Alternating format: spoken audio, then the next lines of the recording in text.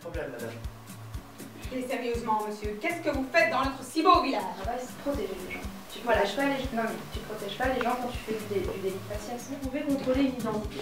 La police a le droit de contrôler votre identité euh, si ils ont des raisons de contrôler l'identité. On a le droit d'avoir peur pour nos enfants et d'avoir peur voit des gens qu'on n'a pas l'habitude de voir. Moi, quand je vois une police comme ça, j'ai peur pour notre avenir, j'ai peur pour notre liberté. Celui qui, dans le bistrot, dit Ah, c'est les Arabes et tout ça. Bah, en fait, c'est pas lui qui me fait peur. Mais c'est toutes ces politiques, toute cette air ambiant, ce qui se passe dans les médias, qui fait qu'en fait, les gens pensent comme ça. Et d'ailleurs, j'ai vu aussi qu'en 2015, votre nom est sorti dans une histoire de démantèlement de réseaux terroristes. Afgarbek, monsieur, justement. Mais n'importe Oh là là, mais j'ai bien fait de vous, con- j'ai bien bien hein.